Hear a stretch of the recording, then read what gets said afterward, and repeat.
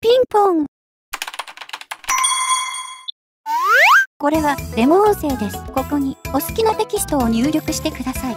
テキストを入力した後は合成ボタンをクリックしてください。あれさっきまで火星にいたはずなのに、ここは物質かなんで急に戻ってきたんやろでこいつどうしたんやアクティベーションに失敗しました。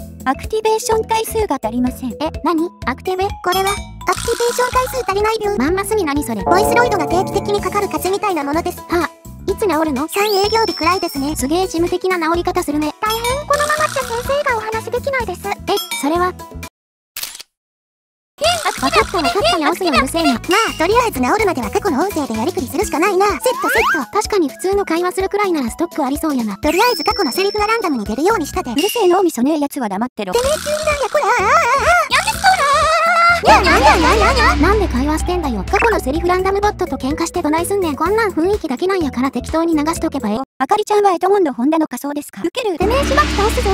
落ち着け落ち着け。クッソ先生の意思とは無関係の発言だってわかってるのに、この顔で言われるとめっちゃ腹立つの。王様誰だうるせえ、とりあえず座ってろ。今日はバレンタインでしょ座ってろ。あかん、このランダムボットまともなこと言わんな。もともとの発言があれやからな。私。